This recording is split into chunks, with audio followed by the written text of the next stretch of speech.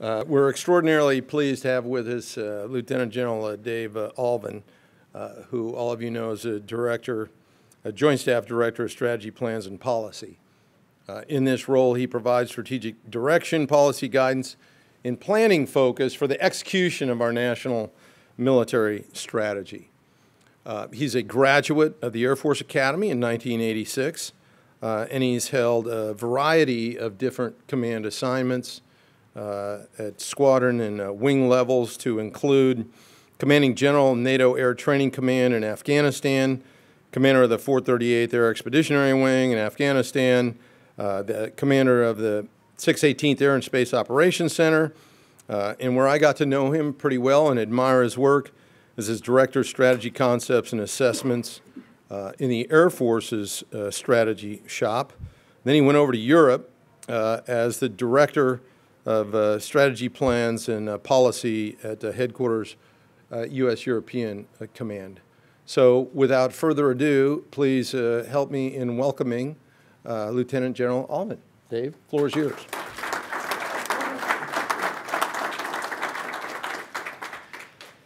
Well, good morning, and uh, thanks for that introduction, Dave. I, I uh, walked in here, and I couldn't put my finger on it, but I suddenly started to become intimidated where I wasn't out there. And then I started looking and seeing why there are a tremendous number of uh, intellectual giants, air power advocates, and people who have stayed on the pointy edge of the value of air power. And I realized that I've been out of wearing the uniform, but I've been out of that you know blue business for about four years. So go easy on me in the air power stuff because I've gone purple, and so I may not be as as uh, as crisp on those particular issues. But I really appreciate the opportunity to, to come and share a dialogue with you uh, today. Um, as I was preparing for this, of course, when I got the invitation, this is such a great uh, institution that I wanted to be a part of it. And so, um, absolutely said yes, put together sort of the talking points that I thought, the things that I'm working on. And it wasn't honestly until sort of like last night that I went through it all again and I was charged up about it. And then I realized this is sort of wonky stuff.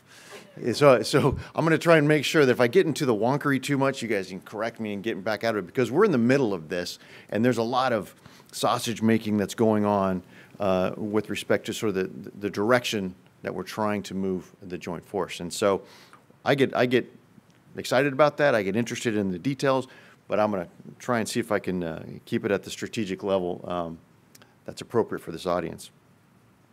But as we talk about, you know, the title, Global Integration and 21st Century Conflict uh, from Strategy to Action, uh, that's a pretty big title. I want to make sure I can, I can build the content to, uh, to meet that. But it's about change, primarily.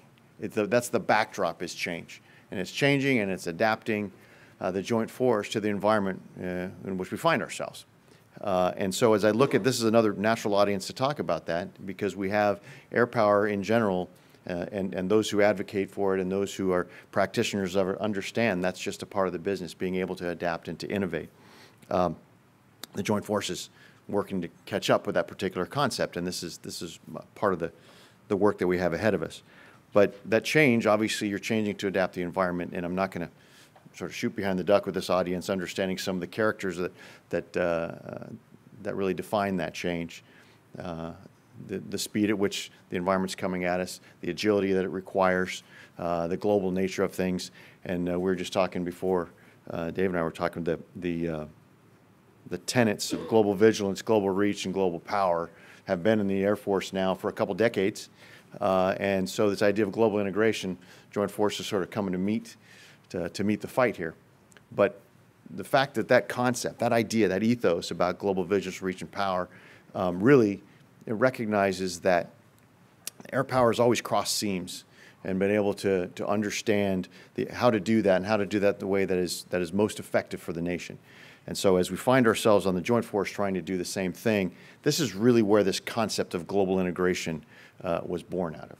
Uh, and you may find me in a couple areas, and I'll try and make sure I'm good about citing the source so I don't have public plagiarism here, but I, I, will quote the, the chairman uh, uh, a couple of times because our chairman is, is uniquely gifted, I, I, I think, working for him in his ability to say things as crisp and pure as just about anybody. He's one of those magnificent communicators. And so as we try and take the chairman's thoughts and put them into our own, they just sound really dumb in comparison. So I'd rather just say, this is what the chairman said, and, and uh, be, able be able to pass it along. But as the chairman talks about some of the three uh, real elements that have driven us uh, to this need, the imperative for global integration, is first where he talks about uh, you know the changing character of warfare, and that is that is more so than it ever before. It is transregional. It's we, we can no longer confine one particular adversary to one particular geographic region. That we can sort it out and and uh, and reach our objectives and then come on home. It's it's also uh, all domain. And what we mean by all domain is not just sums, but just about anything we're thinking about getting engaged in, anything we're contemplating, is going to involve all domains. And we have to integrate that better, which means to maybe stop using uh, or thinking about cyber and space as a sort of mystical thing that's in addition to the traditional domains. It's integral, it's foundational, and is absolutely critical to have those domains integrated into our way of war and our way of thinking about how we're preparing the joint force. So, so the character he talks about is, is changing, but also the, the budget's not getting any bigger. And people say, we got a pretty big budget. Yes, we do. But given the, the threats that we face across the globe, we're never going to be able to have uh, the force to address each one individually and be able to have sufficient force and capabilities in one place at one time. So we have to be able to find ways that we can address them all with the budget that we have. So there's, there's a cost element of that. And then it's the speed of that talked. We, we have to be able to, as a joint force, improve, up our game in speed of recognition, speed of decision, and speed of action because it's coming at us that fast. And so with those as, as the backdrop, um, that's really what, the, what we have as the impetus for what we're doing with global integration. Um, and then while I go through this, I, I want to talk a little bit about how we're trying to actually make it something beyond just a thought and a concept. I think all of us who have done work in strategy and, and in plans, you know, they want to make strategy matter. Right? They want to make it not a fantastic strategy that sits on a shelf and people look at it academically and go, that, that's a pretty neat idea. But if you believe in it and it's something upon which you ostensibly, ostensibly are going to base your approach on, you need to make sure you have a method to translate that into the activities that you're going to do. Otherwise, as, as I think we've seen uh, too many times, there's been a lot of good strategies that have just sort of parked and, and not much been done with. And so um, as, we're, as we're moving forward in this global integration path, we need to make sure that we integrate it into the processes that we have to make sure that that strategy does translate into action. Um, so when we talk about, we'll start with the national military strategy. Uh, this is the, the second um, classified one in a row. The first one was 2016. The, the second one is in 2018. And there's, there's going to be an unclassified sort of summation of that that's going to be delivered here uh, any day. But the, the, the, main idea behind it is it still recognizes that we have these five uh, trans-regional threats that can, that can really threaten us in, in all domains. And primarily we talk about China and Russia, North Korea, Iran, and then we have uh, violent extremism that really runs the gamut across the globe. Uh, and with those as things we all need to pay attention to, the real theme, the character of the, the latest national military strategy is really that of a boxer stance. And so the elements of that, of that boxer stance mean that you have to be able to have the strength and the power to throw the punch uh, when you have to. Uh, you, have to also, you have to be able to be agile enough. And I think you'll see some of these are themes that have been developed over, within our Air Force over the past several years. You need to be agile enough. You need to have the endurance to take that first punch and keep going. You have to be able to resilience to be able to defend yourself against that. But the idea that even though we have these multiple challenges, we have to be able to respond to them in an agile and adept way simultaneously. And that, that really runs through the national military strategy. And that's probably the, the biggest change between 2016. 2016 was novel and it actually called out those uh, five challenges. And now we're refining that in, in our approach to be able to respond to those five challenges. Um, so in order to execute that national military strategy and not have it sit on a shelf, we have to integrate it into the processes that go on within the department. And that's, so now, it's, now we're getting to the wonky part, right? So if, if you're a commander, you, you know, you, you have the tools. You have the mission, a clear set of the mission. You have the forces. You have the capabilities at hand, and you have command authority, right? And so that's how you are going to drive the behavior within your organization in order to execute the mission. So if you're trying to take that up to the sort of the staff level, the joint staff level, you don't have a lot of those things. You don't have command authority. Uh, you don't have, you know, capabilities. You don't have a lot of those things that you would have in a normal command to be able, to, to affect change and execute a mission appropriately.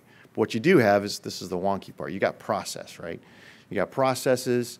You have timelines. You have suspenses that drive decisions, and those decisions will shape the way that you can have the activities down the road. So, really, the the art inside of the bureaucracy uh, is to be able to infuse the tenets of global integration throughout each of those processes. And it goes from the planning process to the force management process into the force development, force design process. So that's, that's really what we're, we're trying to do with taking that strategy and putting it into action. Um, and for those of you who have uh, had to struggle through uh, some of the, some of the professional military education, fantastic, and I see some folks who have actually uh, been purveyors of that. But some of it, remember, we used to have to go through the whole the Joint Strategic Planning System, and it was, it was the donuts of death they call it. And it was really it was tough to really get through.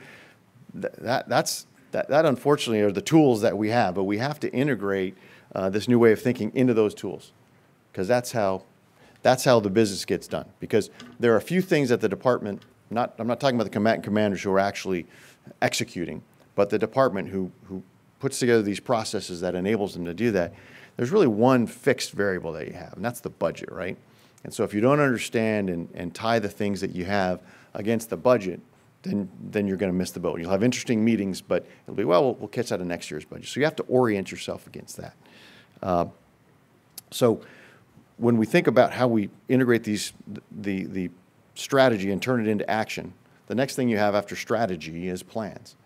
And so this is a this is a change that has to take place across all the combatant commands because traditionally in the combatant commands you have your theater campaign plan. We're all familiar with those. That that's at the behest of the combatant commander that says these are the activities that I'm going to do within my geographic area of responsibility uh, as set out by the UCP. And what that drives though, it drives sort of a, a cottage industry solution. So you have this is what the EUCOM commander thinks about how they may want to address some of the threats emanating from Russia. Russia is also in the CENTCOM AOR. Uh, Russia is also, uh, you know, in other AORs doing other things. So if you have one combatant command approach to one of the challenges, and then you, you add all those together with the other ones, it may not make sense. It may not make a, a, a competent narrative that you can really comprehensively address that challenge. So one of the adaptations that we made in the planning area is we've gone to these things called the global campaign plans. Uh, and what that really does is it tries to address these challenges across the globe and see from a holistic perspective what we believe they're doing that are potentially at odds with our national interests and how we might want to address them globally. Uh, and so that requires a little bit of a different uh, of a arrangement. You know, you still have the combatant command authority in the UCP. That has not changed. So I, I need to say this also. This idea of global integration is done absolutely within the existing authorities. There is no change in authority, you know, that would require change in a law that has been contemplated in this concept, in this context. But it's the chairman's strong opinion that if he is going to be able to give advice, good advice, advice that is relevant to the time in which we find ourselves, there has to be more of an integrated approach to this for him to give better advice to the secretary. So when, when Combatant Commander X asks for these forces, we don't know necessarily the risk to the strategy or to the other challenge of the strategy if those forces flow there. And so this, it's imperative for the chairman to be able to have that global perspective to give good advice to the secretary who's going to have to give same to the president. So these global campaign plans give us a little bit of vision into that because they can address holistically how actions in one theater might support or be at odds with actions in, in another theater. So that's, that's one area of it. Um, the, the global campaign plans are sort of the day-to-day, right? The, they're, they're taken from the theater campaign plans, which are sort of the day-to-day activity. And then we have our traditional contingency plans. Those are sort of the break glass if you're going to actually uh, perceive yourself in a, in a full-blown kinetic fight. Those are also somewhat stovepiped, in, in, in necessarily because they are built by combatant commanders designed to fight a potential threat in your particular AOR. But when it comes to these global challenges, you probably won't be fighting them just in one war. I mean, for example, if, if God forbid we something were to happen of a, a sort of a kinetic nature or uh, aggressive nature vis-a-vis Russia, we, we can't really think about them just in their next door neighbor in Europe. There are implications for the homeland. There are implications for strategic deterrence. And those implications are guided by their own O plans. But if those O plans aren't put together in one comprehensive look, again, we have the same problem of where we, may not know if one activity that's being conceived is supporting the entire objective or not because they're disparate. So we are uh, not replacing, not replacing the operational plans, but we are supplementing them with what we call the globally integrated base plans. And I don't want to make too much of it. There's, we're not starting from whole cloth when the Joint Staff is putting these globally integrated base plans together. But we're actually, we're actually being able to take that plan and put it in a global context. What do I mean? It's not only what I just talked about, which is understanding one theater or another theater against the same adversary, but as you're contemplating actions against one of these five challenges, we now have a, a methodology by which we can understand the implications with another challenge. So if one were to uh, you know, get into conflict with Russia, we have an idea what that might mean for our deterrence activities vis-a-vis China, Iran, North Korea, where we didn't really have a concept of that before. But, but we, we can get that because we have the building blocks of the global campaign plans that says in the context of a fight over there, we still want to do deterrence and assurance activities in other theaters. But when you put it all together in a globally integrated base plan, that allows just a different perspective for the chairman to say, Mr. Secretary or Madam Secretary, whoever it is, to be able to take up to the president and say, here are some of your options, and here are some of the implications of those options with respect to the entire national defense strategy under which the national military strategy is, is written to, to nest. So if that makes sense, you, you, you can't just have a, a, a strategy that recognizes the trans-regional and all-domain nature and not have your plans reflect that as well. Otherwise, you have what? You have a very interesting academic document that sits on the shelf.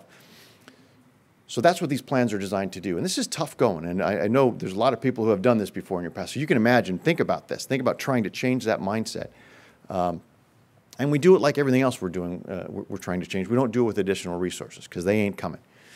They ain't coming. Those, those resources are going to be relatively fixed or we have to almost, almost surmise that they might be shrinking. So how do we do this? We have to be we have to be creative in the way that we matrix across the combatant commands to have them do not only their, their own job, but to think outside of their AORs to be able to support um, the global nature of the threats. So you've got your strategy, and now we've got these, these, this plan construct that expands it from just the regional to the global. That's still interesting, but it doesn't really get exciting until, because plans have been known to sit on a shelf as well, right? Those are fascinating. But until you actually translate those plans into activities and forces, now people get interested.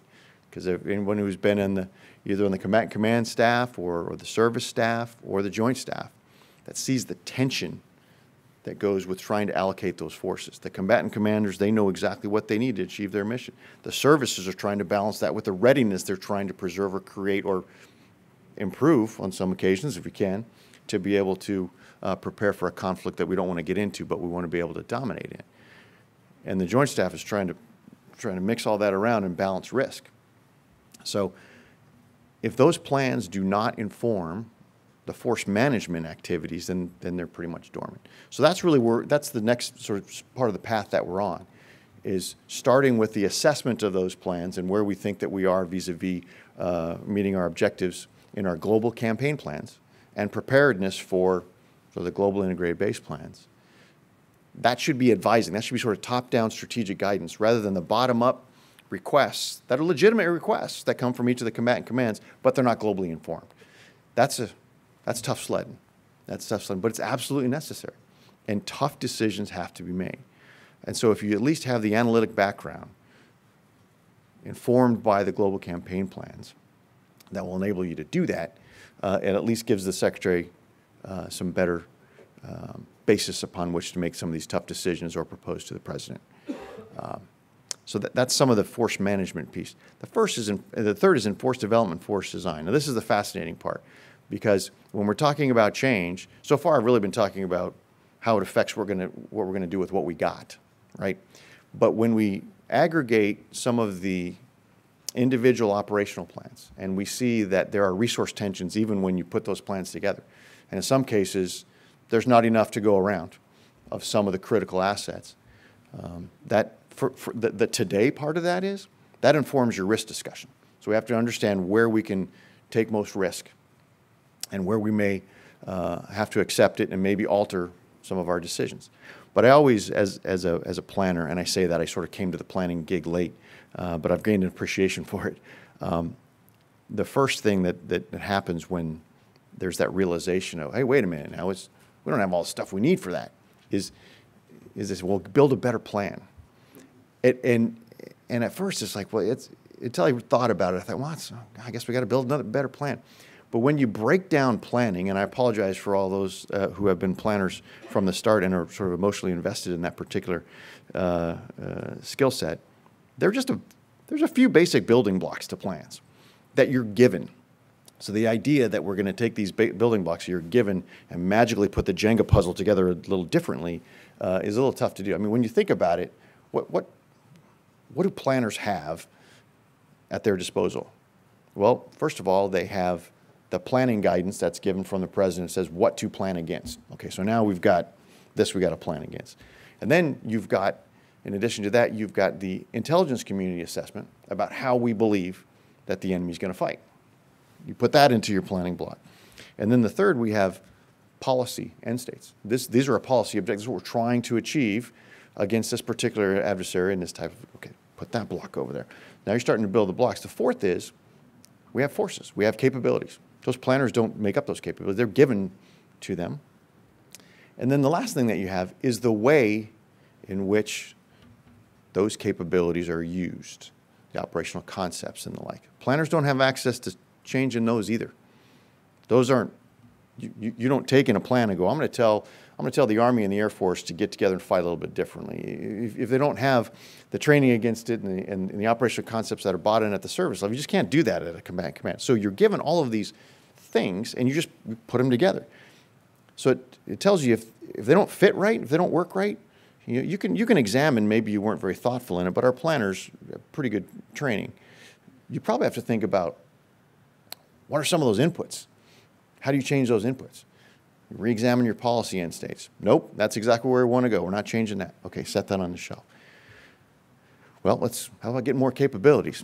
Okay, good luck with that. There's uh, the budget battles are out there. So okay, maybe we can't maybe we can't go to there. All right.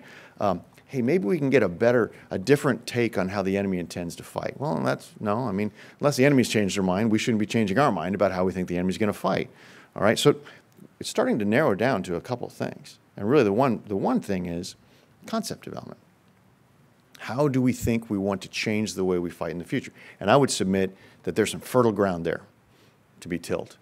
That there are ideas that the individual services have, or some, some even multi-service, that haven't been really baked into a, into a joint concept yet, that's where you're really going to make your money. Because I think there's a, there's a institutional um, slowness, if you will, on, on moving forward. And we got, we've got to have that, in, that catalyst that drives those concepts to be developed more rapidly. Um, and they will inform the future capabilities that will make that concept better. But there are, there are a few things that we know we've got to be able to do, those things that have, that have really made us the military we are and enabled the, the nation to be the nation it is. One of the things is that we're able to project power globally. Nobody knows that better than the Air Force. And air power does that. But we have to do that in a, uh, in a joint way. We have to be able to project the entire force. Potential adversaries have gone to school on us. They saw how we did it. That's how we did it in the 90s. And they said, okay, so I see how you do it. You go there, you bring air power over first. Yeah, you got to do that. And then they, while we're waiting to build the combat power, you sort of you strike with the air power, you do what you can, you start building combat power, and you start trying to deter because they see the Iron Mountain coming. And they know that our defeat mechanism is better than anybody's in the world. So start bringing in the forces until we're ready. And then what do we do? We roll back the IADS, we make sure it's a nice clean sweep, and we go. That, that's sort of the, the way that we've, we've captured in very simplistic terms. And the theory of the case being that we have the most dominant defeat mechanism out there. Now, there are, there's evidence that some of those competitive areas are eroding, and we need to get after that. But that defeat mechanism is pretty darn powerful. And so if, if, if, if you're a challenger to this, you figure, how do I make that defeat mechanism, how do I make that less relevant? Right? How, how do I adapt the way I'm thinking? Because I can't beat that. And if I do go up against it, I'm gonna, I'm gonna lose. So that's what they've been doing. This, you know, you see the, the terms of art, you know, the hybrid conflict or gray zone, or what they're really doing is they're giving us dilemmas on, on the way to that defeat mechanism. Uh, and so we have to figure out how to be able to fight through that, how to be able to invalidate their ability to pose dilemmas, to challenge our ability to project power into a contested environment, our ability to have freedom of movement in all domains, and, and what that means in the 21st century, where it may not be all the time, but maybe for fit for time, space, and purpose and effect. So we have to think about operational concepts that will enable us to do that. And then think about their strategy and how do we invalidate their strategy to, to let them know that the dilemmas that they're trying to uh, create for us, those dilemmas we have answers to. And we have answers early, and those answers have to be uh, consistent with all domain warfare, and they have to be informed by our capabilities and our posture, et cetera, et cetera. So, so I got down the wonker. I told you I was going to do that. But, but to me, that, that's that path and, and concepts, understanding the, the, the best bang for the buck concepts going into the future. You can inform that with some of the um, resource tensions and some of the higher risk elements of the plans looking on a global context you can inform that better that way than you really could if you were just looking at individual O plans. That's one of the other benefits of global integration. Now, I realize I just jumped a time horizon too, because the, when we're talking about the plans, the plans are normally notionally within the next couple years of being able to execute, when concepts really need to look further forward. So there is a time horizon mechanism we need to be able to, to make sure we don't get trapped in one and, and, and build concepts you know, for today that are going to be obsolete in a few years. But I just want to park a little bit on that, uh, on that concepts piece, because that's what we're really driving to. We're understanding that as we know we need to transition, we know we need to adapt to the changing character of war and the speed that underpins it. We have to have a way that enables us to attack the adversary strategy rather than just their forces, to be able to understand and make risk-informed, tough decisions uh, in the department or project those decisions up to the president to decide. That's what this, this is really about, this global integration. And so if you get it right, you find yourself on a path that are all merging together. You're updating your concepts, you're build, you're baking them into the services. The services are, are getting their readiness on those concepts. Um, and the last thing I want to talk about, because I really want to open up, up to questions, and um, because otherwise I get really wonky. The last thing is, is how are you postured? That's the other piece I, I sort of I missed in, in this uh, talking about the elements of global integration. How, how are you postured? How, how are you going to set the force? How are you going to set the globe, if you will? Uh, You have to. You can't do that if you're just focusing on one element of the strategy or one particular challenge. You'll find yourself out of balance. That's probably one of the toughest things that we do, and we haven't. we're- We're still working through that right now, um, because you're you're left with a couple choices. You can. You really optimize for the risk, right? And that risk has many elements, probability and consequences, you know, being the, some of the two main factors of that. But do you posture yourself in the Indo-Pacific solely and then you figure out how to sprint somewhere else? How do you posture munitions? How do you do, th- there's a lot of these elements that we didn't even know how to ask the questions before. We just knew it was going to be tough. You're, you're putting your plan together and you're like, wow, this is going to suck for all the other plans because I need a lot of stuff, you know. But now we have to understand that we can't look at it in isolation, and and posture decisions are um, they're not permanent, but they certainly they require a larger undertaking if there's infrastructure that supports them as well. So these are things that that we really can't take lightly and make a posture decision this year that maybe we're going to turn on next year and then come back the year after. And so as we figure out how to um, orient our posture today, and then we see the inherent challenges of it, how do we orient our concepts to where those posture decisions will be more compatible with the future that we see? Um, these are all sort of lofty goals of, of global integration. I'm not sure exactly where we're going to end up. I do know this. Um, I know that change is incredibly hard, and the bigger the institution, the harder it is. And I don't, I, I don't have anything against bureaucracies, but I don't think uh, bureaucracies actually uh, act with malice.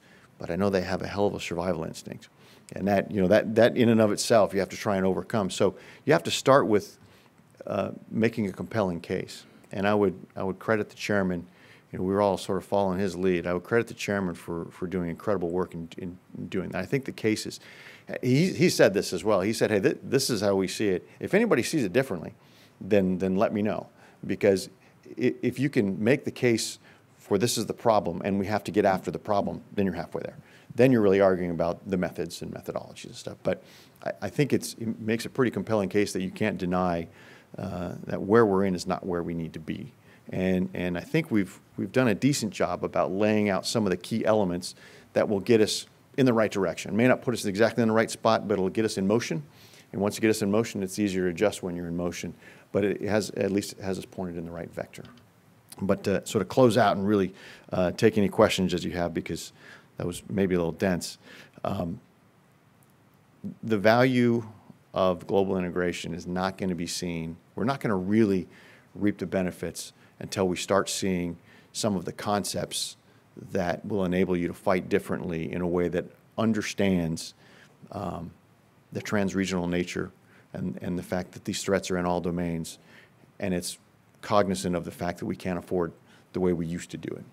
And when we see that in the way that we posture, and you see that the way the services are developing concepts, and you see that in the maybe the better sophistication of the decision set that's there for the secretary and the president, then, then we'll know we've got there. We have a long way to go. Uh, I would say this, this journey has been three and a half years, I would say probably overall. I think we really, really started to grind at it for about the last two and a half years. And there's, there, there's a lot left to do. But I, I would solicit any critiques, questions, because it's all hands on deck at this point. I guess I became a Navy guy. But uh, but we, we really, this is something that we're going to have to collectively get after, and, and the different perspectives that come from uh, the different uh, um, services and and uh, backgrounds is going to be is definitely going to be needed because the future is not going to come at us any slower than it has in the past, and so the time to diagnose the problem is over. The time to sort of solve it is after. So. With that, I'll, I'll stop there and thank you for your attention. And uh, sorry if I was too wonky, but I'm happy to take any questions that you have. Yeah. yeah. Thank you. That was that was excellent in terms of understanding. Thank you. That was excellent in terms of understanding the, the planning function. Uh, I think as cogent a, a, description as I've ever heard. Um, you know, with the global nature of the challenges, and you know, it could be Syria today, it could be Venezuela tomorrow, it could be the resonance of Syria and, and Venezuela. Um, how do you, as the joint force leaders, have sufficient visibility into everything that's happening both within our forces, our perception of the adversaries, and the resonance kind of in the in the world. How, so how do you how do you get get a situational awareness at the kind of chairman level? That's. I will start with. Um, you mentioned Syria and Venezuela. So you, you, just asked the graduate level of that question. I'll, I'll, start at the basic level and get to your graduate level. So to be able to have a, a uh, at, at, the at the joint staff, right? To be able to have that global perspective of even the, the main threats that crosses uh, each of the, uh, the combatant commands. We've generated a couple of new um, entities. I wouldn't say we're reorganized, but we're, we're matrixing better. So out at the combatant commands, this is a, it, there's, there's the term called a coordinating authority. And I love that term, by the way. Because if, you, if, someone who didn't know anything about the context of, you just look at that authority, you know, you have the authority to coordinate? What, what is that? You know, sort of the authority to call meetings. Um, but it can't compel decisions. But, but the idea is you you, you would sort of put that label on the entity who you think probably has the preponderance of SA about that particular challenge. And then those others, other combatant commands sort of feed into that to help provide that global picture. So you do have a combatant command as sort of a lead, if you will, for planning and assessment. For your day-to-day, -day, there's, there's steady feeds from the J2, Joint Staff J2, coming from each of those oriented on each of those challenges. Um, and then within the joint staff, We have uh, cross-functional teams, which are matrix, so they're still within their, uh, you know, Napoleonic organizations, but they're, they're matrixed for, particularly designed to understand all the elements uh, across the, the joint functions, um, joint staff functions of those challenges. So those are with the five challenges, but you mentioned something that's a little more sophisticated. So now you got Syria's not in that one. Venezuela's not in that one. Um, Russia is in both. Uh, yeah, China for sure in one, and I'm sure it's. I'm sure they got some pause in the other, but it's probably not as profitable as, as uh, Venezuela is for them. So um, that is the responsibility again of the combatant command. So, so let's, let's go Venezuela. So in Southcom, Southcom is able to, you know, through its uh, J2 and its visibility, is able to see what's going on in Venezuela, but they also can see the other players in it. So they, they sort of feed what they understand about that information to the Joint Staff as well as, this- in the case of Russia, to EUCOM. This is what we think they're doing here and there and everywhere. So, so there is that feed from the combatant command who owns, owns, has the responsibility for the, ge- that geographic space to feed back to the coordinating authority, but also to feed back to our cross-functional team. So there's a, there's, there's a, a sort of two approaches to be able to get at that. Um, but it's a fight. I I mean, because it, it's about battle rhythms. I hate to say it. When, it was, when it's down, how do you get your situational awareness? You get your situational awareness through the, uh, the, the meetings in which you get together and the different perspectives come together and they provide you with a, a bigger picture. So each combatant command has a battle rhythm. Are you going to try trying to elevate that to design a, a battle rhythm for each challenge? To design a battle, it's it's a challenge to get that information into the existing processes, but it comes with repetition. I'll, I'll give you I'll give you one example. Um, this is, this is not a global uh, integration example, but it's an example of how the processes eventually change behavior. Um, So when I was at U.S. European Command, I so I got there at, in 2015, and we're, they were still sort of writing themselves on what the hell we think about what Russia was doing in Crimea the year before. But we're sort of coming to that awareness of what it means. Um, and, and before that, you know, the U.S. European Command was, was, was sort of an engagement command still. It was really building the partnerships, et cetera, et cetera. So they didn't really have a, a, uh, a robust theater campaign plan, okay, back before the global, a theater campaign plan. And uh, so we wrote a theater campaign plan while I was there. We distributed it. For about six months, nobody paid attention to it.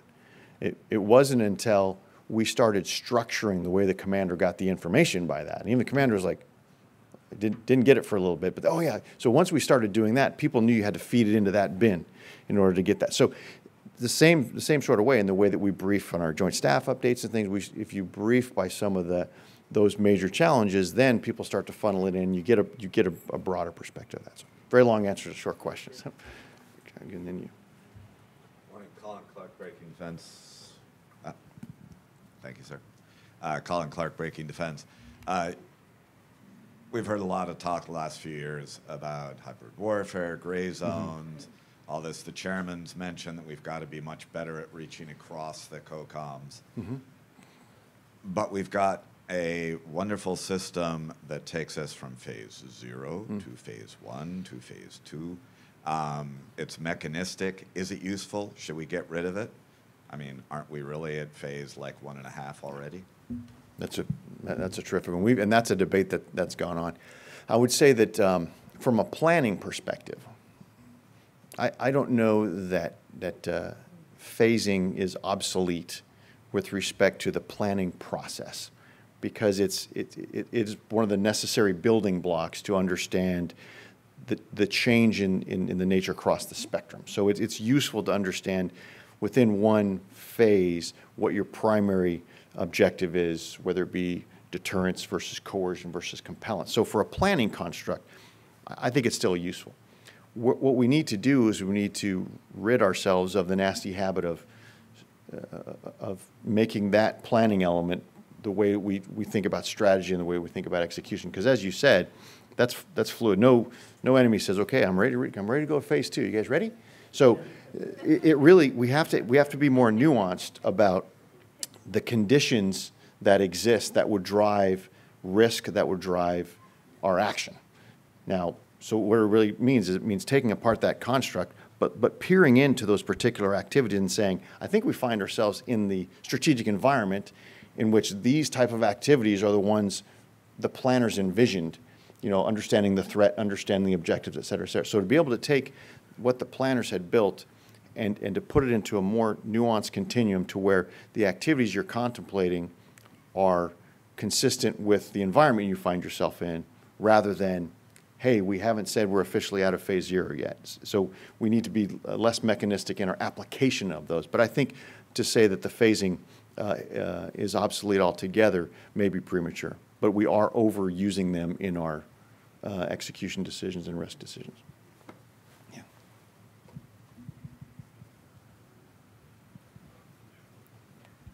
Hi, I'm Pat Host from Janes. Uh, is there a planning angle to the Air Force's next generation air dominance effort? And perhaps in your experience as a three star general, uh, what capabilities or technologies are going to be critical to dominating the skies in 15, 20 years?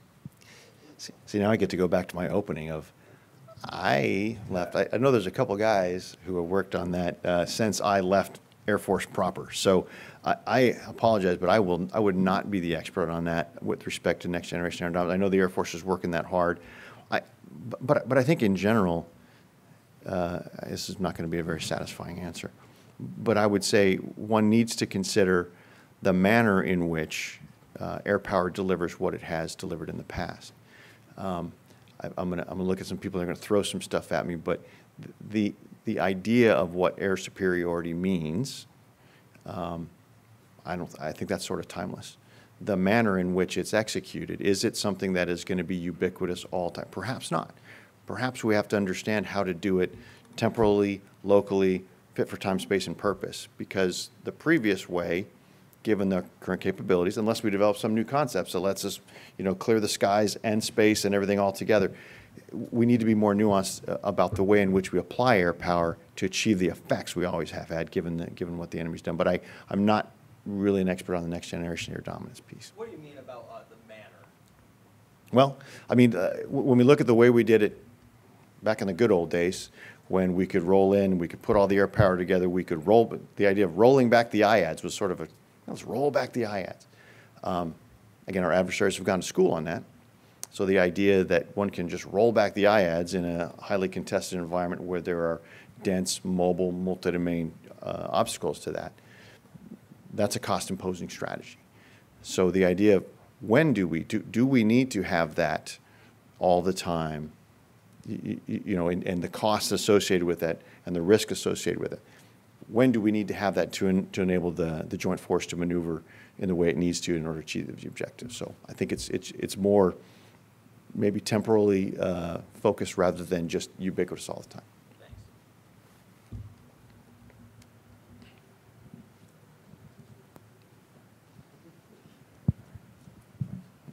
Hi, Marty Faga.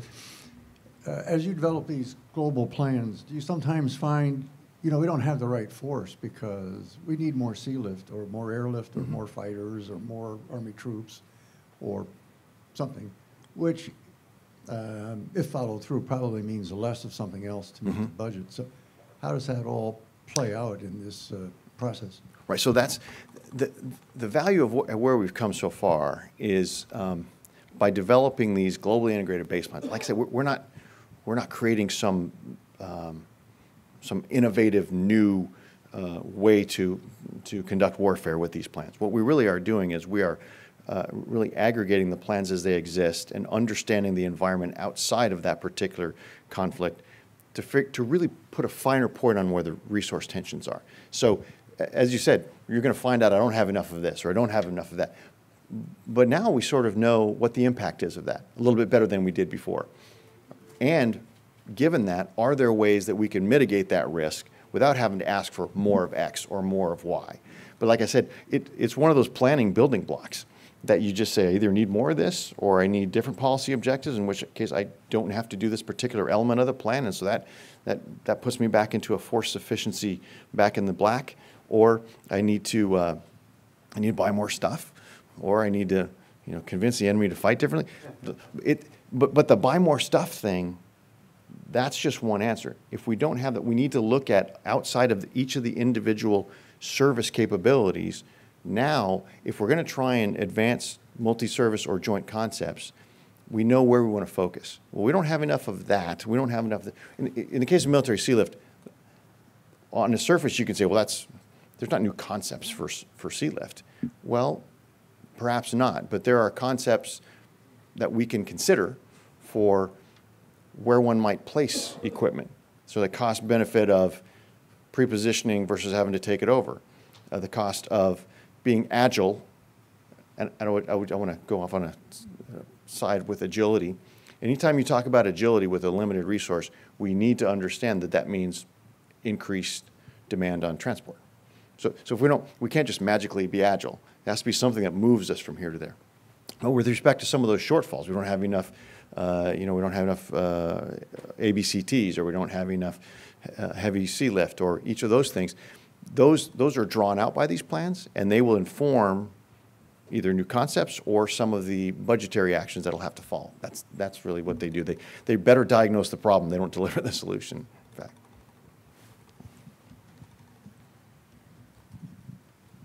Er- Eric Schmitt with the New York Times. The, the U.S. uh, military force levels in the Middle East and Persian Gulf are at their lowest levels in decades. So, what challenges does that pose to you as a strategist and a planner in, res- in preparing contingencies, uh, in preparing options, uh, when you have to deal with threats like, say, a, a uh, let's just say a, a threat from Iran, for example? for example. Yeah. Well, I, I will, as, as the J5, thank God I'm not the J3 because those guys are always uh, working harder than us. But I, I can give you the general construct of, of how, uh, through global integration, we're trying to address this given the resources that we have. Um, there's a concept uh, called dynamic force employment. Um, and this is really being able to look at, and, part of this is actually goes back to the globally integrated base plans, to understand um, where the readiness challenges are for those particular plants. I, am going to walk my way into the answer, I promise. If you understand where the readiness challenges are and sort of a sensitivity analysis against which those readiness challenges affect the plan, you can help the services instead of saying, hey, you got to be ready. And the service is like, you're killing me, man. Ready for what? Help me. I, I can't be ready for everything all the time. So now we can be better informed by the things that the Joint Force needs to do in these particular plants. So now you've targeted where the services need to be ready. Now we need to be, be able to give them the opportunity to build readiness of those particular forces. And what that, what that means is there's this, there's this almost binary tension that's perceived. I don't think it's as binary as people, uh, some people make it out to be, that you can either be forward presence deterring, or you can be back getting ready to kick butt. You can't do both. And so we're trying to make that less binary. So this dynamic force employment concept enables the services to focus on the areas that they need to build readiness, and we're cognizant of the readiness levels of them, and then be able to either in activities that help build readiness or activities with other forces, be able to more rapidly move forces from one theater to another. The impact of that, obviously, you can't be everywhere all the time, but if you're, if you're trying to posture consistent with the strategy, you look at the attendant risk. And so if there is attendant risk with, and there's always a tension, there's always a tension against those forces you might want to put in one area that you think are going to be advantageous to deterrence. And then when you move them out of another area, does that invite an opportunistic aggressor? Th- those are decisions that go back and forth. So as we look at uh, having those forces that are more dynamically employable, that's how we're trying to address the, uh, the challenge of posturing for some of the five challenges and not being optimally postured for the other. So it really, it's, it's really a matter of mobility and being more agile with the movement of forces rather than just having them parked at the expense of the others.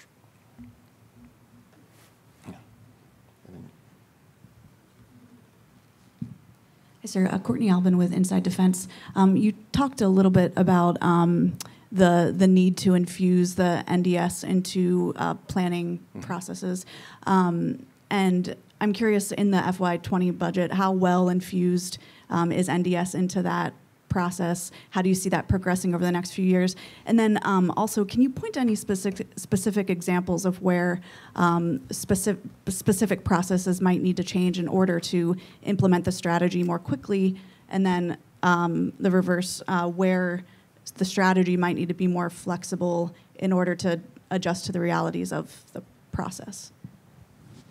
Sorry, a lot of questions there. No, no, no. On, on the first, uh, There's a really smart gentleman named Tony Ierardi who's the J8, and he, he really works, but I'm not going to dodge the question on that. He, he really works a lot of the budget implementation.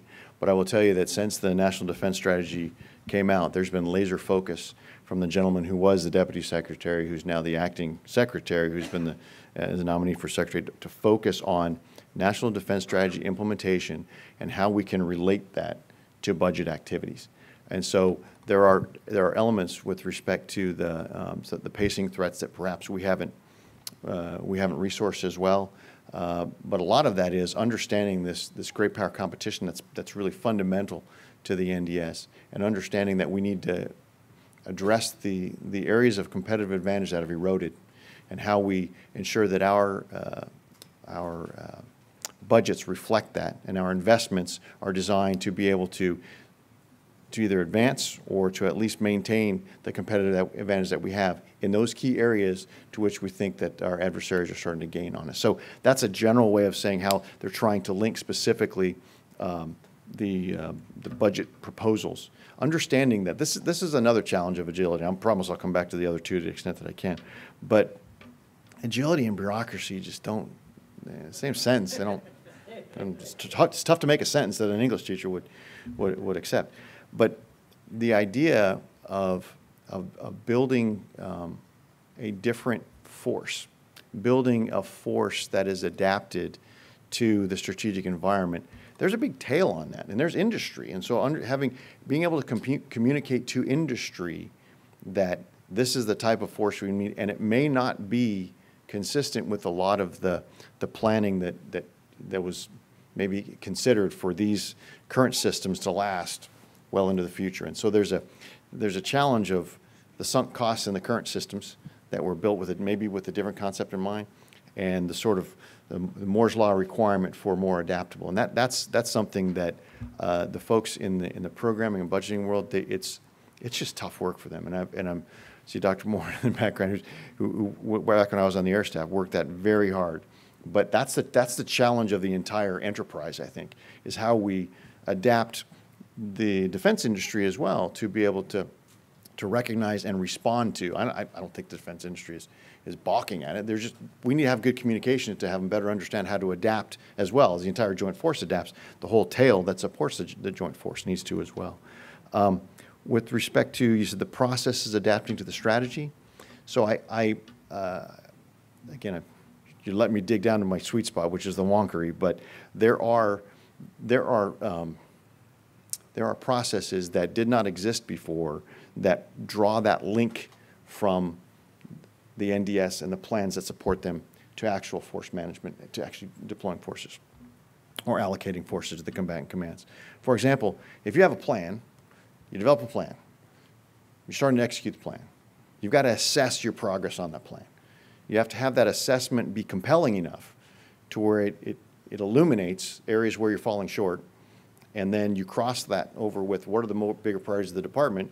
When you overlay those two, you- here's the areas that we're falling short on, and here's the areas that the department is really focused on. Now you're starting to draw out some areas you can say, we need to apply resources, activity, whatever, against these particular problems because we're falling short unless you link that to a discussion about what forces you're going to allocate in the future and how those forces might act in a way that'll get after those objectives, you, it's just, it's cut. So what we're trying to do now is develop that linkage. And once, as I sort of said it tongue in cheek before, but once the folks who are, who are in the game of getting the forces and getting the stuff, uh, once they understand that that plan assessment is important, now all of a sudden the assessments will get better, the plan will get better, and that link will be tight. So that's something that we haven't had before that we're trying to do.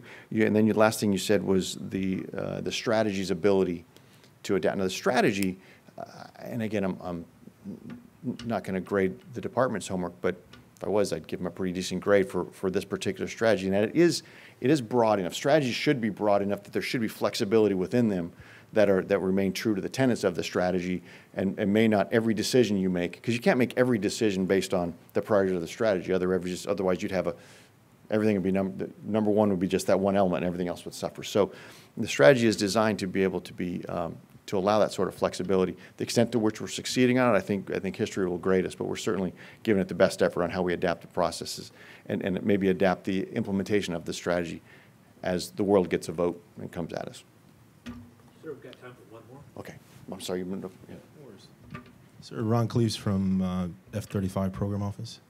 Uh, You're you're familiar with that phrase, um, "No plan survives the first contact with the enemy." Um, That was generated or given credit to a Prussian military commander in 1880, so 139 years ago. Uh, Someone um, made that statement. Um, You talked about planning guidance, intel assessment, policy objectives, forces, and the way in which those capabilities are used. However, uh, you know that there's issues with intel assessments. We didn't get it right with the fall of Soviet Union, 9/11, ISIS, weapons of mass destruction in Iraq, uh, Iranian embassy. But we also have this issue with will, our nation's will. And I'm wondering, what is your, um, do you put um, the nation's will in your calculus? Because we just had Russia attack Crimea, take Crimea. Um, we're fighting by proxy in most of the wars right now. Um, and it doesn't seem like there's a will. We, you could argue that a lack of will created ISIS. So, what's the calculus that you guys have in, in regard to nation's will of, of doing um, basically what your old plans state? So I will, uh, that's a, it's a question that I am not going to answer directly. I'm going to try and, I'm, I am going to answer directly, but it's probably not going to be satisfying. But I would say the other quote that, you know, there's no plan survives first contact, there's also, the value's not in the plan, it's the planning. Because planning also changes the way that you're thinking, the way you're approaching it. So when you're actually doing the activity, even though the plan itself is, is well, we can't use that anymore, there are, there are ways of thinking and perspectives that drive uh, the execution that will still have that plan have value, even though you won't come out of it looking like you went into it. With respect to the will, that's, um, frankly, once, now, now this, this is my personal opinion, I'll tell you professionally, that's not in, that is not in necessarily the operational planning, because what we are tasked to do in the department and what the joint staff just to, to uh, support the chairman and his vice to the president and the secretary, these plans are designed to attack, uh, to, to address the military dimension of a particular national security objective.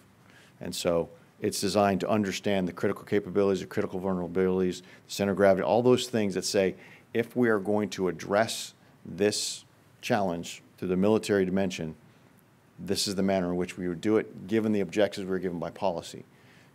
There is, there is no part of that particular calculation in which you say, but if the political will isn't behind you, you do X, Y, or Z. It's, it's just not, it- it's not sort of germane. And, and I think if one were to consider that, it would be a fascinating academic exercise, but I think you might find the second and third order facts, effect, we may not be too pleased with the military putting the thumb on the, the will of the people, et cetera, et cetera. We, we, best we stay in our, in our box on that, would be my answer.